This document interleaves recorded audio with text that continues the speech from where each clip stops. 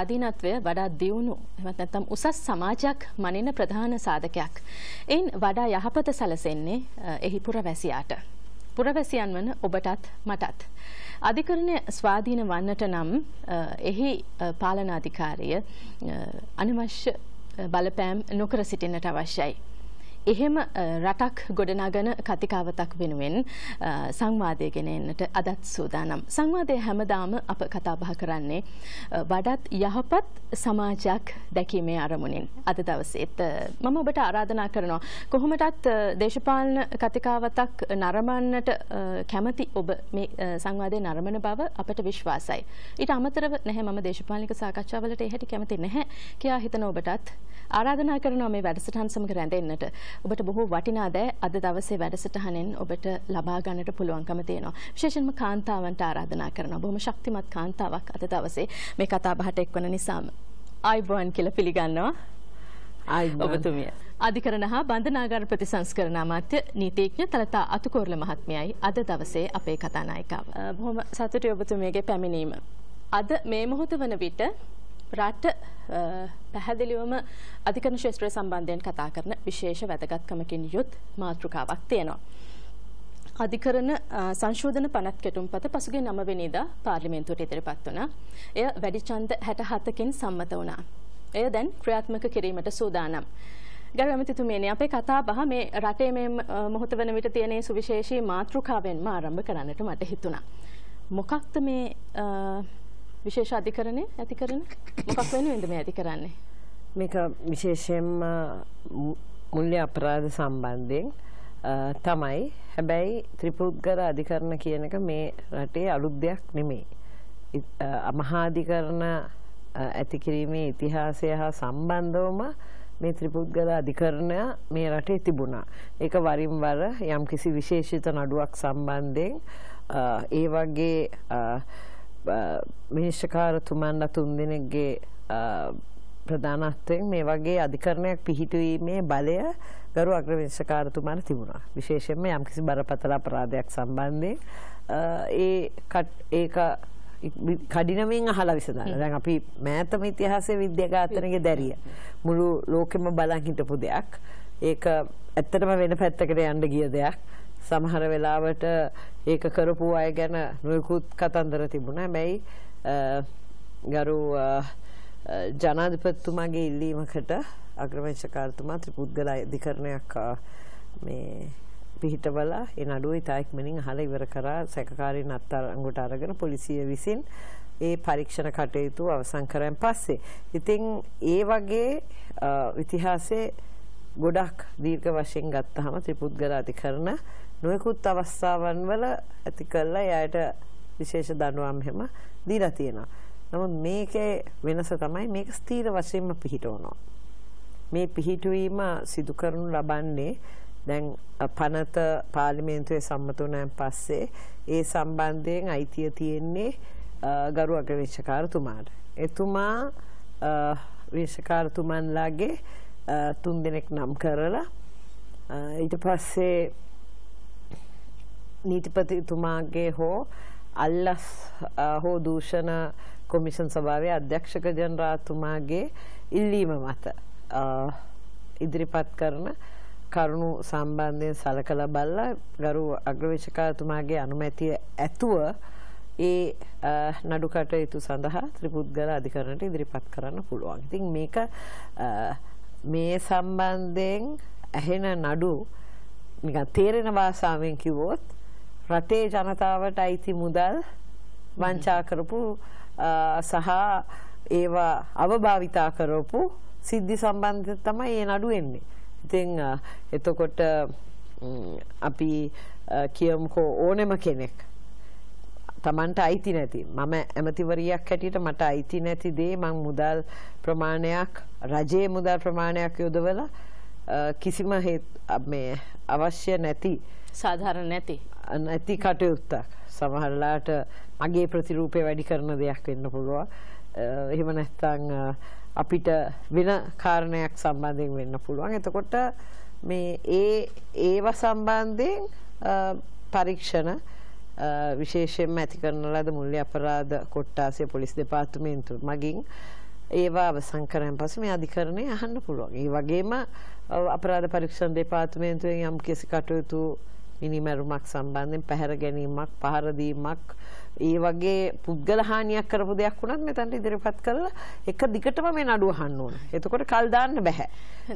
ඇමතිමනි ඒක තවත් විශේෂයක් මේ අධිකරණේ. හිතුතුනි මම ඔබට ආරාධනා කළේ එන්න ඔබ දේශපාලන සාකච්ඡාවක් බලන්නට අහන්නට තරම් උනන්දු නොවනවා නම් ඒත් ඔබට ආරාධනා කළා එන්න මේ සාකච්ඡාව හායක වන්නට කියලා. මොකද ඔබේත් මගේ ධනය අවභාවිත වී තිබෙනවා නම් ඒවා වෙනුවෙන් මේ විශේෂ අධිකරණය තුළ ඉතා කඩිනම් විසඳුම් ලබා දෙන්නට සූදානම් වෙන වටපිටාවක් තමයි සකස් වෙන්නේ.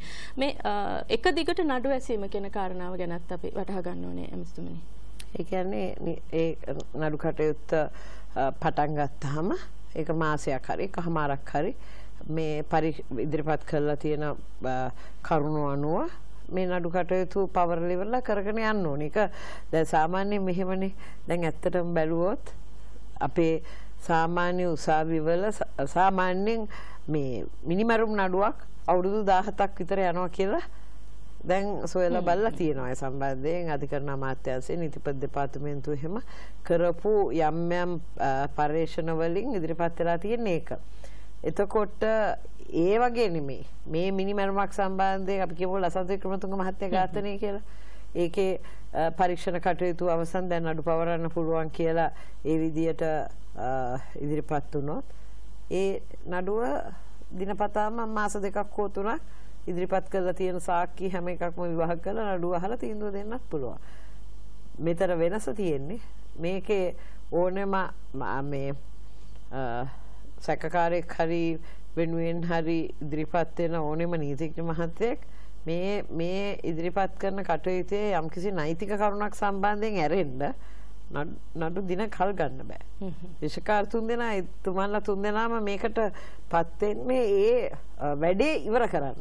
එතකොට ඒ අයගේ කාලය මේ අපතේ අරින කිසිම දෙයක් කරන්න බෑ. එතකොට මේ මේක පිහිටෝලා මේ කටයුතු පටන් ගත්තයින් පස්සේ එක දිගට හරි ඉවර කරන්න පුළුවන්.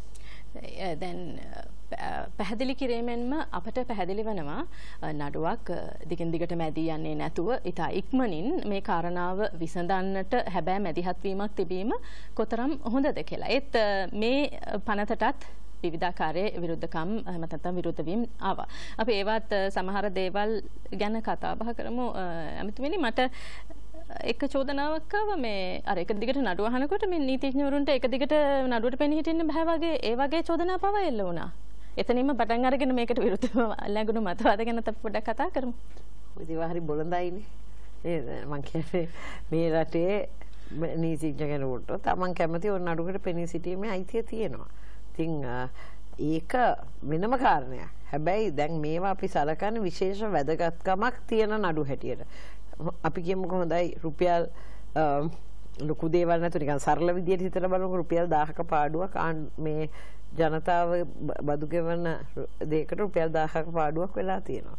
එතකොට මේ 1000 ඉක්මනට අය කර ගැනීම තමයි කොහොමද මේක අය කරගන්නේ කරපු අයට දඬුවම් දෙන්න කියලා. ඉතින් එතකොට මේක අපි සියලු දෙනාටම වගකීමක් තියෙනවා. මේ කාගවත් සල්ලි ගැන නෙවෙයි මෙතන කතා කරන්නේ.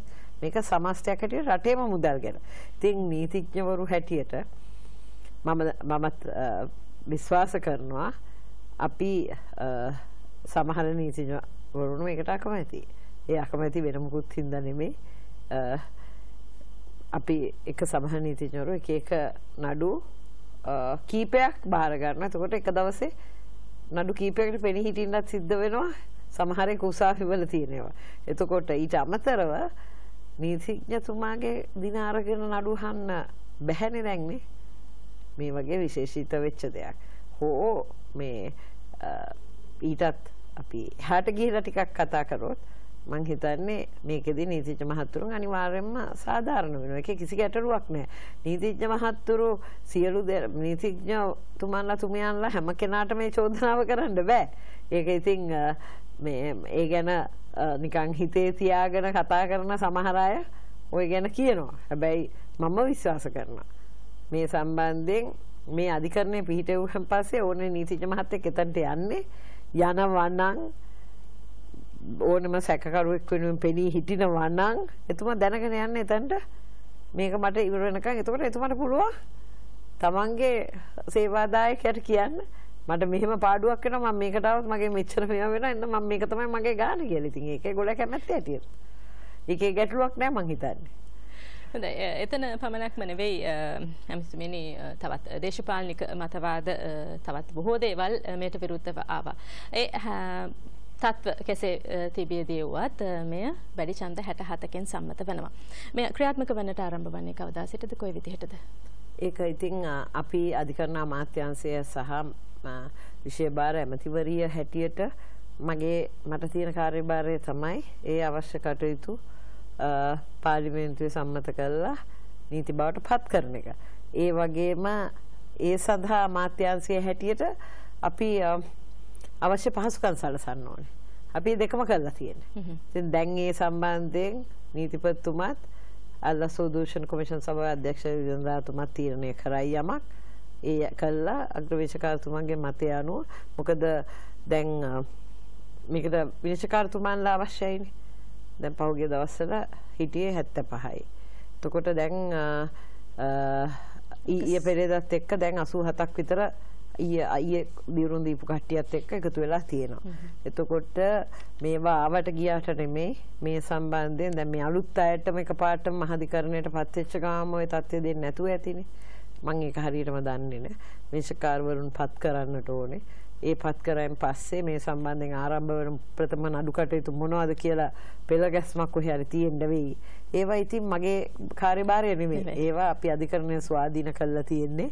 ඉස්සර වගේ නඩුත් හාමුදුරන්ගේ බඩුත් හාමුදුරන්ගේ වගේව නැහැ දැන් සම්පූර්ණයෙන්ම මම සන්තෝෂෙන් කියන්න ඕනේ ගරු ජනාධිපතිතුමාගේත් ගරු අගමැතිතුමා යටතේ අධිකරණය ස්වාධීනව කටයුතු කරන්න හැම කෙනෙකුටම අයිතිය තියෙනවා කියන එක පෙන්වලා දීලා තියෙනවා. දැන් අත්අඩංගුවට ගන්න යනකොට අත්අඩංගුවට ගන්න එපා කියලා ශේෂ්ඨාධිකරණයට ගිහිල්ලා ගන්නවනේ තීන්දුවක්. ඉතින් දැන් මේ අත්අඩංගු එතකොට අධිකරණය ස්වාධීන නැත්තම් ඔක කොහොම කරන්නේ කොහොමද? ඒ අයට ඒ අවස්ථාව ලබා දීලා තියෙනවා. ඉතින් සමහර අය මේ මේ ඔය නොයෙකුත් විදිහේ චෝදනා තියන අයට කළා තියෙනවා. දැන් සමහර අයට මේ මේ ඒ වගේ කටයුතු කරපු දැන් සිල් රෙදි නඩුව ගත්තොත් මම හිතන්නේ සතියක්වත් දඬුවම විද්දේ නැහනේ. මේ උසාවියේ මේ අභියාචනය කරා අභියාචනත් එක්ක එළියට ආවා. ඉතින් එහෙම තමයි ඒකේ. ඉතින් ඒකින්ද අපිට කියන්න තියෙන්නේ අධිකරණයේ ස්වාධීනත්වය ආරක්ෂා කිරීම සහ ඒ බලතල අධිකරණය මගින් ක්‍රියාත්මක කිරීම ගරු අග්‍රවිනිශ්චකාරතුමා ඇතුළු ඒ සියලුම විනිශ්චකාරතුමන්ලගේ අභිමතය අනුව සිදු කෙරේ. මිස්ටමනි දැන් ජනවාරි 8 වෙනසෙන් පසු විප්ලවයෙන් පසු යහපාලන මේ ආණ්ඩුවක් පත් වුණාට පස්සේ ඔබ ඇතුළු ඔබේ රජයට කෙරෙන ප්‍රධාන චෝදනාවක් තමයි ඔබ වංචා දූෂණ පිළිබඳව පවසමින් ඒවා හෙළි කරමින් ඒ ඒවා කළ අයට නිසි දඬුවම් ලබා දෙන බවට පොරොන්දු දෙමින් බලයට පත් වුණා. හැබැයි කෝ තාමත් නෑනේ. ඒ ඒ අයට දඬුවම් කළේ නැහැනේ කියලා. එතකොට මේ දැන් ඇත්තටම හොරකමක් සිදු වී තිබෙනවා නම් යම් තැනක රටක නීතිය නීතියේ ආධිපත්‍ය පවතිනවා නම් ආවට ගියට දඬුවම් දෙන්නටත් බැහැනේ. කොයි විදිහට මේ අධිකරණය ඒ කටයුත්ත වෙනුවෙන් දායක වන්නේ. දැන් ඒක තමයි ඒකේ තියෙන වෙනස. දැන් ඔය මෙහෙමනේ මේ දැන් මේකේ අපේ රටේ පුරුදු වෙලා තියෙන්නේ මම අද උදේත් ඔක මම සහභාගී වෙච්ච උත්සවයකට කිව්වා ලොකු මවාපෑමක් කරන්න ඕනේ. ලොකු සද්දයක් කරන්න ඕනේ. අපි මේක කරා අර එහෙම කරා. එතකොට තමයි අපිට පේන විදිහෙන් රටේ ජනතාවට සන්තෝෂ වෙන්න පුළුවන්. බොරුවට හරි කරත් නැතත් පෙන්නලා තියෙන්න ඕනේ. ඉස්සර මං හිතන්නේ ඔබතුමීට මතක ඇති කොහොමද මේ රටේ තිබිච්ච බෝඩ් සංකල්පය කියලා. ඒ ඒකම බලන්න දැන් උදාහරණයක් හැටියට මගේ මම පනාවැන්නේ මම ජීවත් වෙන ගමේ අඩි 100ක විතර ලොකු බෝඩ් එකක් ගහලා තිබ්බා ගුවන් යානා සඳහා ඉන්ධන මත්තරින් ලබා ගත හැක කියලා. ඉතින් මට ওই බෝඩ් එක දකින දකින පාට මට කල්පනා වෙනවා දැන් ඕක මෙහෙ කියලා වැඩක් නැහැ නේ. ඒක දැනගන්න ඕනේ රටවල ඉතින් මහපාරේ යන අයට ගුවන් යානා ඉන්ධන අවශ්‍ය නැහැ නේ. වගේ වැඩ තිබුණානේ අනන්ත අප්‍රමාණ තිබුණා. සමහර ලක්ෂ 10ක වැඩක් කරනකොට ඒකේ ලක්ෂ දෙකක විතරම ගහනවනේ බෝඩ් එක. ඉතින් ඕක තමයි අපේ රට අවුරුදු 20ක් තිස්සේ පුරුදු වෙච්ච විශේෂයෙන්ම පළවෙනි අවුරුදු 10 නෙමෙයි දෙවෙනි අවුරුදු 10. 2005 ඉඳලා 2015 දක්වා පුරුදු වෙච්ච ක්‍රමය. ඉතින් දැන් මේකේ කිසිම පරිගැනීමේ චේතනාවක් නැහැ.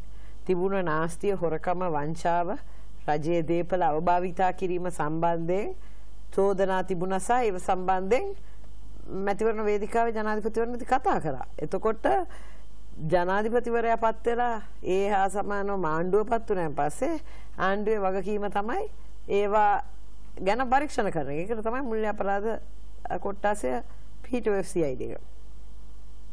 ඒ පරීක්ෂණ අවසන් වුණාම තමයි ඒ ෆයිල් ටික නීතිපති දෙපාර්තමේන්තුවට එවන්නේ.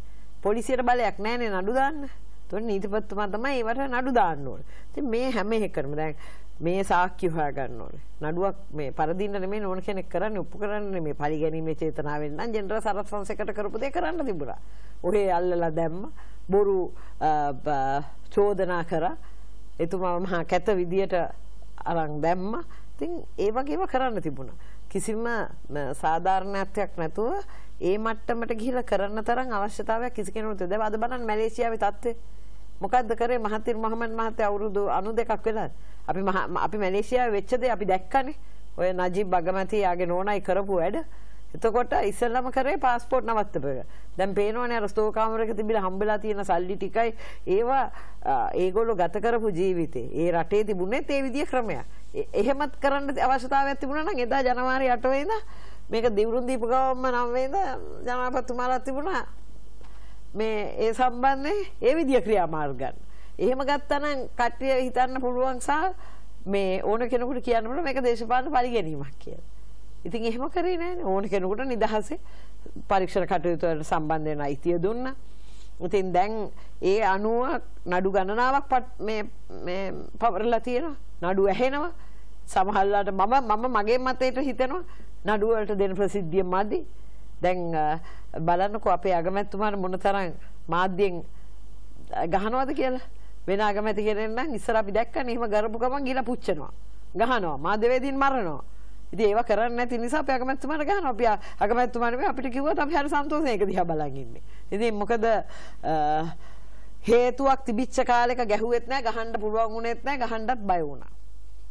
අද හේතුවකුත් නැහැ. මොකද රනිල් වික්‍රමසිංහ රටේ දේපල නාස්ති කරනවා කියන්නේ. මෛත්‍රීපාල සිරිසේන රටේ දේපල නාස්ති කරනවා කියන්නේ. අවභාවිතා කරනවා කියන්නේ. අද සරල අගමැතිවරයෙක් සරල ජනාධිපතිවරයෙක් මේ රටේ ඉන්නවා. අගමැතිවරයා එක දවසක් අරිගහ මන්දිරේ ඉඳලා තියනවද කියලා අහනවා.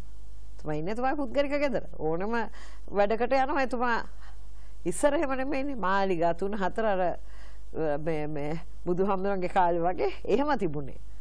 ඉතින් ඒවා දැන් මේවා සම්බන්ධයෙන් අපි මාධ්‍ය තරහ වෙන්න එපා ඔබතුමීලාත් ඇතුළු මං කියන්නේ අනවශ්‍ය දෙයට ඕන ප්‍රසිද්ධියක් දෙනවා.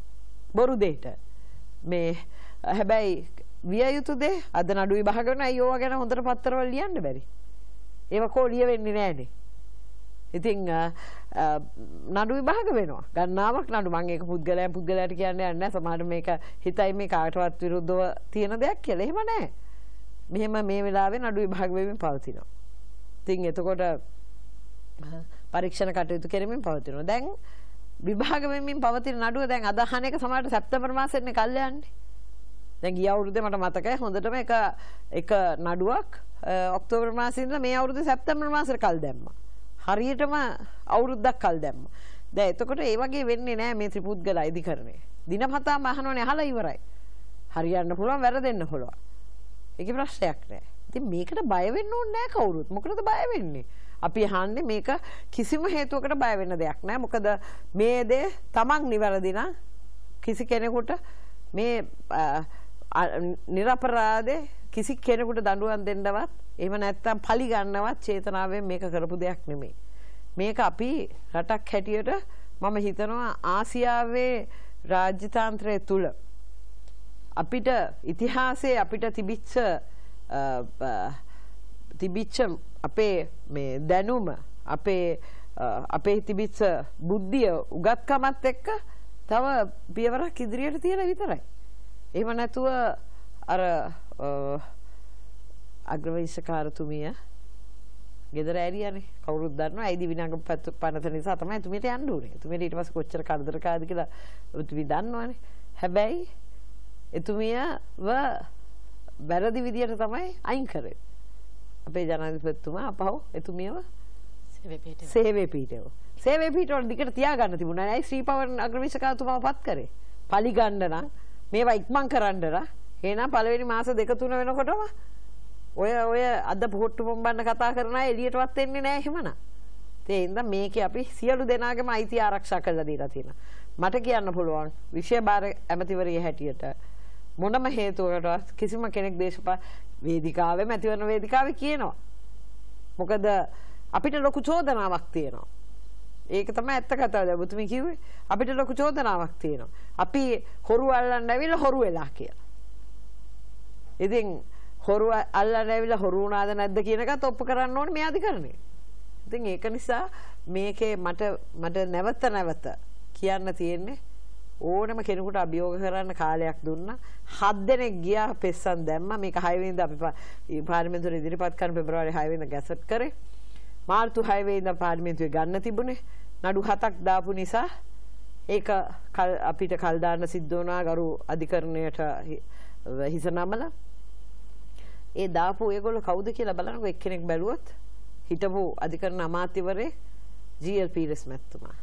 තව එක්කෙනෙක් බැලුවොත් ඒකාබද්ධ විපක්ෂයේ කියන කල්ලියේ නායකයයි කියා ගන්න අපේ ගරු හිටපු අමාත්‍ය දිනේෂ් ගුණවර්ධන මැතිතුමා. නීතිඥ සංගමේ සභාපතිතුමා. ඉතින් වගේ හතක් තියෙනවා. කල්යාණන්ද තිරණාගම. ඉතින් මේ හැම කෙනෙක්මටම අයිතිය දීලා තිබුණා.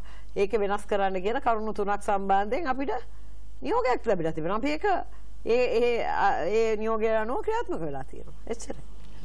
අධිකරණය ස්වාධීන නම් එහි නඩු ඇසෙන විට කිසිවෙකු බියවිය යුතු නැහැ. ක්‍රමයක් වෙනස් කරන එක ලේසි නැහැ. ක්‍රමයක් සාධාරණව ක්‍රමක්‍රමයෙන් වෙනස් කරන එක ඊටත් වැඩිය ලේසි නැහැ.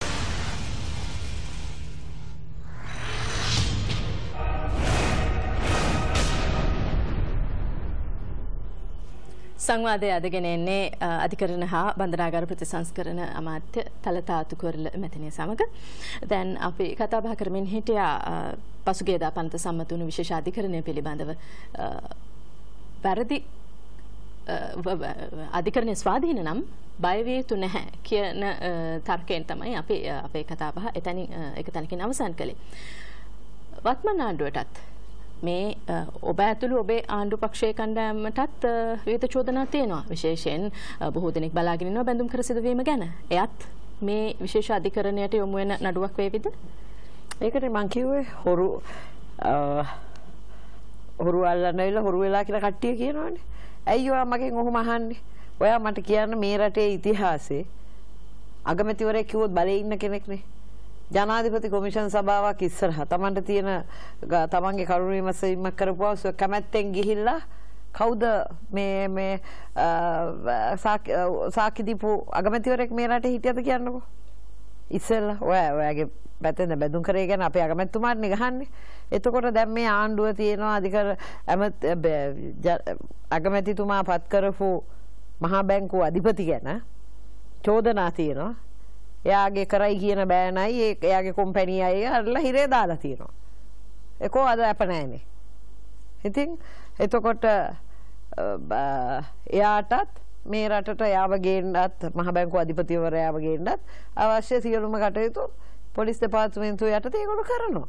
ඒ අවශ්‍ය නෝටිස් සැරලා ඒ උද්‍යාංග විරතුන්ගට කොහොමද කරන්නේ? එහා සමානවම කරනවා. ඉතින් මේකේ මේ බලේ ඉන්න පක්ෂය කියලා කිසි දැන් දැන් මට මතකයි ඉන්නේ දැන් කාලෙකට ඉස්සෙල්ලා টপ 10 කියලා එකක් අල්ලගෙන අගමැතිතුමාට විරුද්ධව ගිහිල්ලා දැම්මා ලස් කොමිෂන් පැමිණිලා කියලා මලික් සමරවික්‍රම මහත්මයාට දැම්මා මම හිතන්නේ රවි කරුණානායක මහත්තයාට දැම්මා කබීර් හෂිම් මහත්තයාට දැම්මා මටත් දැම්මා සහ හැරිසන් නැමතුමාටත් දැම්මා. ටෙන් උනේ නෑ හැබැයි හතෙන්ද හයෙන් විතර නැවතුණා. ඔය මාධ්‍ය සංදර්ශන කරනවනේ බොළඳ විදියට මොකද හිතන්නේ මේ මේවා තමයි මිනිස්සුන්ට දෙන්න ඕනේ. ඉතින් මම ඇත්තටම අපි මේ රටේ කියන්න ලියන්න පුළුවන් ජනගහනය සියයට අනු හතක් ඉන්නවා. ඉන්න සීයක් හිටියොත් අනු හතරම පුළුවන්. අපි සියලු දෙනා බුද්ධිමත් ජනතාව හැටියට සලකන්නේ. මේ අවස්ථාවාදී ප්‍රයෝජන ගන්න උත්සාහ කරන්න හොඳ නැහැ. මේවා ගැන හොඳට කල්පනා කරන්න ඕනේ. මොකටද මේගොල්ලෝ එන්නේ කියලා. දැන් මේ කරන හැම කටයුත්තක් සම්බන්ධයෙන් මේගොල්ලෝ හිතාගෙන ඉන්නේ අනේ මේ ආණ්ඩුව ඇවිල්ලා තියෙන තේගොල්ලෝ කරපු දේ කරන්න කියලා. පුෂ් බයිසිකලෙන් ගිය මිනිස්සයා කොළඹ හතේ ගෙවල් ගත්තේ කොහොමද ලන්ඩන් එකේ ගෙවල් ගත්තේ කොහොමද දික්කසාද වෙන නෝනට මෙච්චර ගෙව්වේ කොහොමද කියලා ප්‍රශ්න අහනකොට මේ රටේ ඉතිහාසයේ මේ මුළු කුරුඳු අත්තක්ම අයිති වෙලා තිබිච්ච ලේක් හවුස් එක අයිති වෙලා තිබිච්ච පරම්පරාවෙන් ආපු මිනිස්සුන්ට විරුද්ධව කියලා දානවා අල්ලස් කොමිසමේ පැමිණිල්ලක්. ඉතින් මේක හරි පුදුමයි. මිනිස්සු තේරුම් ගන්න ඕනේ. රටේ ජනතාව මීට වැඩිය බුද්ධිමත් වෙන්න ඕනේ. රනිල් වික්‍රමසිංහ මහත්තයාට හොරකම් කරනවා නම් අද ඊයේ ඉඳලා නෙවෙයිනේ. 77 ආණ්ඩුවේ එතුමා කැබිනට් ඇමතිවරයෙක්නේ. තරුණම ඇමතිවරයි. ඉතින් මේ වගේ නිකන් බොළඳ දේවල් වලට නෙමෙයි නිකන් මිනිසුන්ට මද ගහන දේවල් වලට නෙමෙයි. ඇත්තටම මම අවස්ථාවක් කරගන්නවා ප්‍රසිද්ධිය අල්ලස්සා දූෂණ කොමිෂන් සභාවේ අධ්‍යක්ෂක ජෙනරාල්තුමාගෙන් ඉල්ලීමක් ගන්න. කරුණාකරලා ඔය අපි 6 7 දෙනෙකුට පැමිණිලි තියෙනවා විභාග කරන්න. තියෙනවා නම් නඩු දාන්න. කිසිම ගැටලුවක් නැහැ. අපි මේක මේ අර නඩුව අහන්න මේ නඩුව අහන්න පිටෝප අධිකරණයක් නෙමෙයි. මේක අහන සමහරට පළවෙනි නඩුව නඩුව බැඳු කර නඩුව වෙන්න පුළුවන්. ඒක ආණ්ඩුවේ හිටියයි කියලා එකක් නැහැ. ඉතින් අපි දන්න විදියට බිලියන 11ක කතාවක් එතන තියෙන්නේ. හැබැයි ඒ කොම්පැනිය මගෙන් බිලියන 12ක් මේ රඳවගෙන තියෙනවා මහ බැංකුවේ. ඒකත් පැත්තක තියන්නකෝ. මේ බැඳුම් කරේ කියන එක 2008 ඉඳලා මෙන්න ඕනේ. ඒ මහ බැංකුව අධිපති ඒ කාලේ හිටපු එක්කෙනාගේ ඉඳලා මෙන්න ඕනේ. මොකද මේ හරියට ඉතිහාසය බැලුවොත් අර්ජුන ඇලෝෂියස් කියලා අද රිමාන්ඩ් බන්ධනාගාර ගත වෙලා ඉන්න මේ ව්‍යාපාරිකයා කාගේද බොහොම සුවච යාළුවා වෙලා හිටියේ. ඇයි මේ බැඳුම් කරේ සම්බන්ධයෙන් විවාදය තියෙනකොට ඒකට කතා කරන්න හිටපු මේ රටේ හිටපු ප්‍රධාන විධායකයෝ පවුලේ අය මේකට සම්බන්ධ වුනේ නැත්තේ මොකටද? මොකද? මේවත් අපි කතා කරන්න ඕනේ. අපිට කිසිම ප්‍රශ්නයක් නෑ. අපි මම වගකීමක් ඇතුව කියනවා. මම නම් මොනම බලපෑමක්වත් කරන්නේ නෑ. ඒවා තීරණය කරයි මේ අධිකරණයේ ප්‍රධාන අය. මේකේ මේක බැඳුම් කරේ වෙන්නත් පුළුවන්. වෙන නඩුවක් වෙන්නත් පුළුවන්. දැන් මම අර ඉස්සෙල්ලා කිව්වා වගේ මේකේ පරීක්ෂණ කටයුතු ඉවරුනහම ඒ අනුව ගන්න පළවෙනි නඩුව මොකක් වේද කියන්නත් මට කියන්න බෑ. ඉතින් මේකේ කවුරු මොනවා කිව්වත් අද අපි කනගාටු වෙනවා. අවුරුදු 20ක් තිස්සේ විශේෂයෙන්ම 20 දෙවනි 10 තුල රටේ ගෙනිච්ච බොරුව ප්‍රෝඩාව හොරකම අවස්ථාවාදී පිරිසක් ඉසින් කරගෙන ගිය දූෂිත ක්‍රියා. දැන් අපිට වචනයෙන් කියන්න පුළුවන් එක එක පැති සමහර පැතිවල ඒ කාලේ පාතාලේ මෙහෙව කොටස් ඉන්නවනේ. සම්පූර්ණයෙන්ම කුඩු කුඩු ගෙනල්ලා අහුණයි කිව්වහම විධායකයා යනවා ඒක බාර ගන්න. බලන්න යනවා. මෙහෙම රටක් තිබුණාද? එතකොට මේවා ගැන දැන් එක එක අංශේ අපරාධකාරයෝ ඉන්නවා. කාර් හොරු ඉන්නවා. ඒ වරප්‍රසාදලත් කුඩු ගෙන්නපු මේ අපරාධකාරයෝ මිනි මරපු කොටස් ඉන්නවා. මේ හැම එකම හිටියනේ මේ රටේ.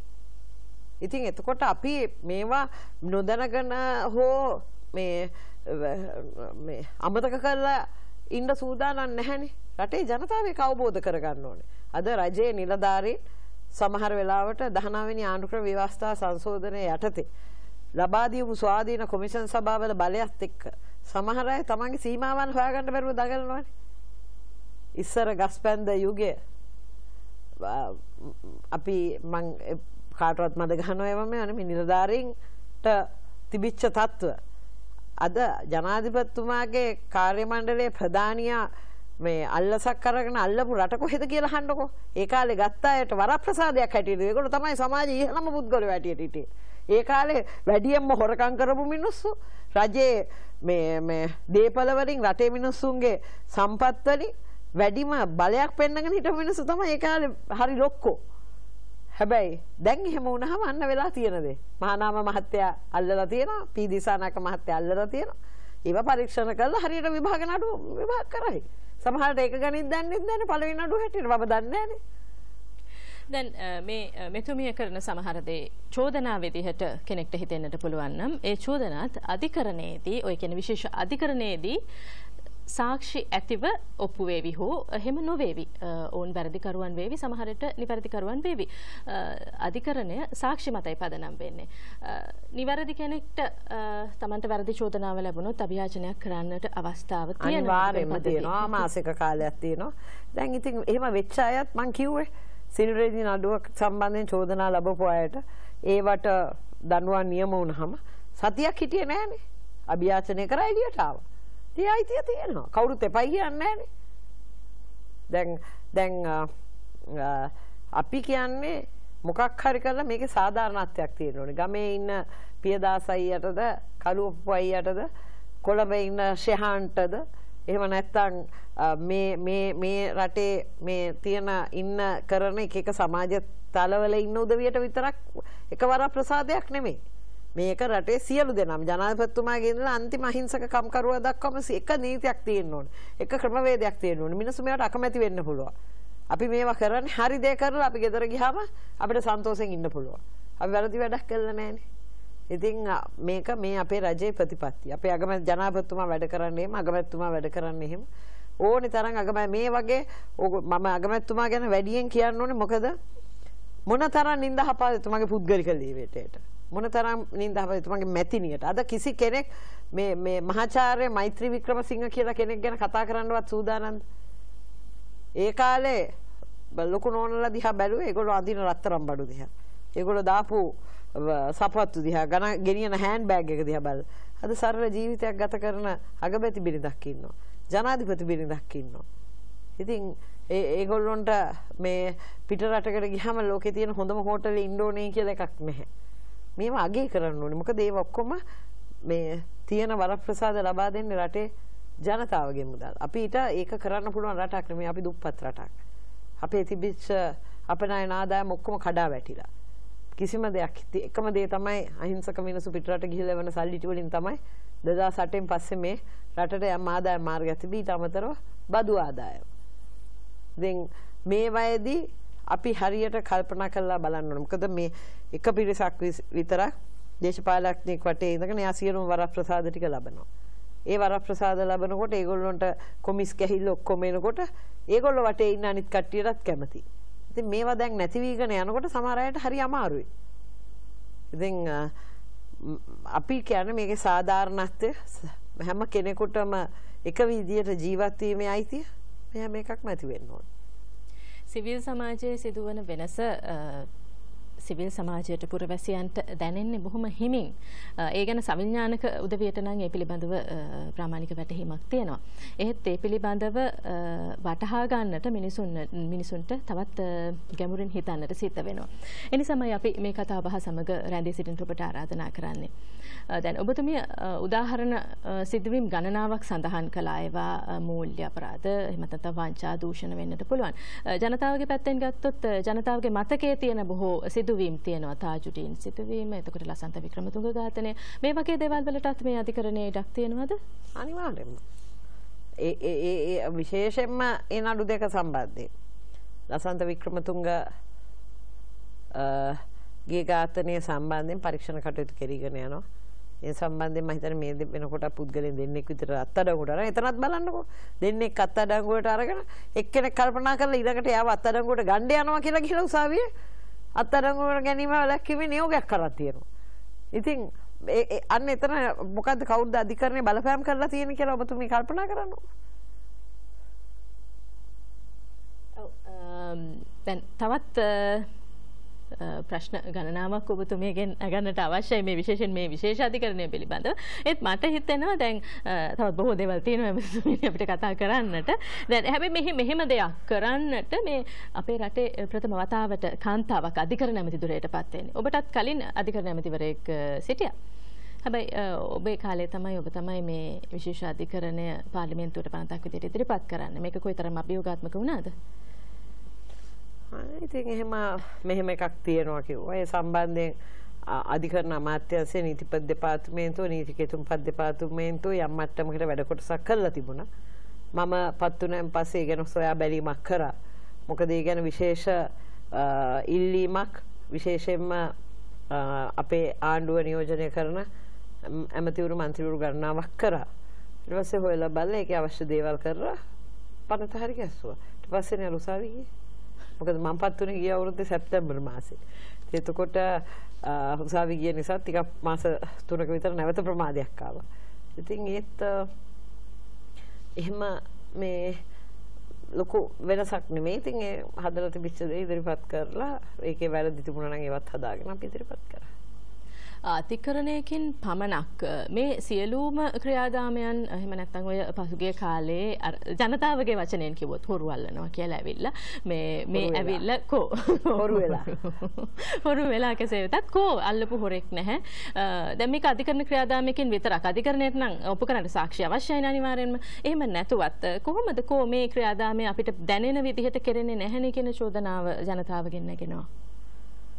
ඔව් ඉතින් ජනතාවගේ නැගෙනවා කියලා කියන්නේ මේ ඕක ජනතාවගෙන් නැගෙන්න ඔය සද්දෙන්නේ හොරු අල්ලන්න කියලා නෙමෙයි.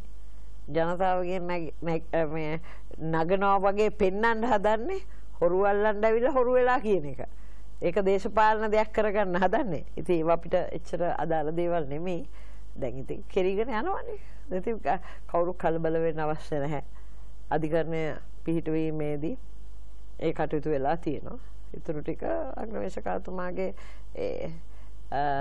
ඉතින් විශේෂයෙන්ම මේ මේ ක්‍රමය තුල තාම හොඳ ස්වාධීනව වැඩ කරන යහපත් අග්‍රවේශකාරවරයෙක් හිටියෙත්. මම කියන්නේ එච්චර. අපි දන්නවනේ ඉතිහාසයේ හිටපු අග්‍රවේශකාරතුමන්ලා සමහර අය ගැන.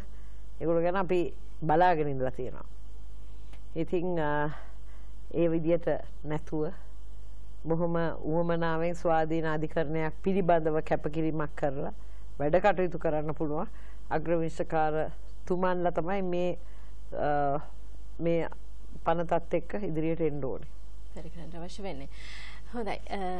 ඔබත් ඒ චෝදනාව කළ කෙනෙක් නම් ඔබට බලාපොරොත්තු දල්වා ගන්නට පුළුවන්. විශේෂ අධිකරණයක් ඔස්සේ අපේ රටට අපේ රටේ සිදු වුණයි කියන සියලුම විශේෂ ආකාරයේ කතාබහට ලක්වන මූල්‍ය දූෂණ අපරාධ ඒ හැම දෙයක් පිළිබඳවම ඉතා ඉක්මනින් කඩිනමින් නඩු තීන්දුව ලැබෙන සාධාරණ විසඳුමක් ලැබෙන ඕනෙම නම් මට කියන්න පුළුවන් ඒ කියන්නේ 54ක් පහක් යටතෙම තියෙනවා. මේකේ විශේෂයෙන්ම ගන්න පුළුවන් මේ වරදවල් ටික. ඒ කියන්නේ දණ්ඩ නීති සංග්‍රහය තොරකමේ ඉඳලාම ගන්න පුළුවන්.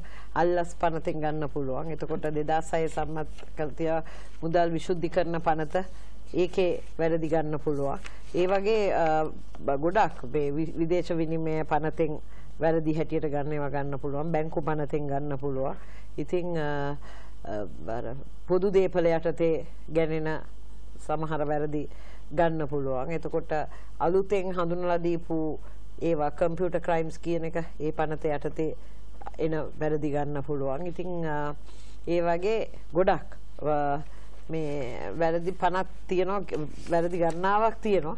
ඉතින් ඔයාට මේ ඒකත් ඕනනම් ඒවත් මට කියන්න පුළුවන් ඉතින් හොරකමයි මුදලුයි ඒව සම්බන්ධයෙන් තමයි තජඩින්ගේ ලසන්තගේ සහ කීත් නොයාගේ ඒවා අපි අමතක කරන්න බෑ. ඒ වගේ ගණනාවක් තව තියෙනවා සිද්ධි. ඒ කියන්නේ දැන් මේ වගේ නඩු අපි බලන්න ඕනේ මේවා විශේෂයෙන්ම අපිට ජාත්‍යන්තර වශයෙන් ලොකු බලපෑමක් කරා. මාධ්‍යවේදියෙකුට නිදහස නැහැ රටේ. ඇත්ත කතා කරන මාධ්‍යවේදියෙක් සැබෑ දේ පෙන්වන. දැන් බලන්න මං කිව්වේ අර ඉස්සෙල්ලා විකෘති කරලා තියෙන මාධ්‍ය මොනතරම් දේවල් කරනවද කියලා. සමහර මාධ්‍ය ආයතන වල තියෙන වෙනම කිසිම දෙයක් නෑ අගමැතිතුමාටම ගහන එක. සමහර දැන් ඇත්තටම දැන් පෞගේ දවස්වල මේකත් පැත්තකින් තියන්න. Facebook කල්ලියක් මුළු නගරයක් ගිනි තිබ්බා. ඉතින් මේවට අපේ තියෙන්න ඕනේ ඒවා පාලනය විය යුතු දේවල් තියෙන්න ඕනේ. ඉතින් ඒක නිසා මේකෙදි මේවා කාටවත් උවමනාවට මේ තජුදීන් කියන්නේ හොඳ දක්ෂ රග ක්‍රීඩකෙක්. මුළු එයා ක්‍රීඩා කරපු විදේශීය ක්ලබ් වලට එහෙම නැත්නම් මේ රග ක්‍රීඩාව සම්බන්ධයෙන් කැමැත්තක් අදහසක් දක්වපු ක්‍රීඩාලෝලින් ඔක්කොම තජුදීන් ගැන දේශීය විදේශීය බලන් ඉන්නේ. වෙන ක්‍රීඩකයෙකුටවත් නිදහසක් නැහැ ජීවත් වෙන්න. මාධ්‍යවේදියෙකුටවත් නැහැ නිදහසක් ජීවත් වෙන්න. එතකොට මේවා මේ අපි රට අතහැරලා ගිය මාධ්‍යවේදීන් දැන් ජිනීවා වලට ගියෝ කී දෙනෙක් එහි ජීවත් වෙනවද සමහර අය යන විදියවත් දැනගෙන හිටියේ නෑ. ඒවා ඒවා අපේ රටට ලොකු බලපෑමක් කරපු මිනිසුන්ගේ අයිතිවාසිකම් උල්ලංඝනය කරපු අවස්ථාවක්. ඉතින් ඒ සම්බන්ධයෙන් අපි හරි හරි නිවැරදි ක්‍රියාමාර්ග ගත්තේ නැත්නම් අපි අර අර තියෙන්නේ මේ තනි වෙච්ච රාජ්‍යයක් හැටියට. මේක දූපතක් විදිහටම ඉන්න වෙයි. ඉන්න වෙයි හැමදාම. යන්න යන්න තව යන්න පුළුවන්. පිටිපස්සටම යන ගමන් කරම කර. බාගෙට ඇඳගත්ත රටක එහෙම කට්ටිය ආවේ. ඒ වගේ ඉන්න පුළුවන්. අපි එහෙම ඉන්නවද අපිට ලොකු ප්‍රෞඩ ඉතිහාසයක් ගැන කතා කරන මේ මේ සෑහෙන වටිනාකමක් තියෙන සිරිත් විරිත් තියෙන අපිටම ආවේනික වෙච්ච දේවල් තියෙන රටක් හැටියට සමහර අය බොහොම කතා කරනවා. හැබැයි ඒවා ඉතා සුළු පිරිසකට විතරක් සීමා වෙන්න පටන් ගත්තා. තමන්ගේ දේ බවට පත් වෙන්න පටන් ගත්තා. අපි ලෝකෙන් කොන් වෙන්න පටන් ගත්තා. අපිට තිබිච්ච ගොඩාක් පහසුකම් නැතුව ගියා. ඉතින් මේ අවුරුදු දෙකයි මාස ගාණක් දැන් අවුරුදු තුනක් අපි අපි නැවත මේ රට වෙනස් කරන තැනට ගොඩනගන විදියට තමයි මේ වැඩ කටයුතු ඔක්කොම අපිට කරන්න සිද්ධ වුනේ. ඉතින් ඒවත් එක්ක තමයි ඉස්සරහට යන්න වෙලා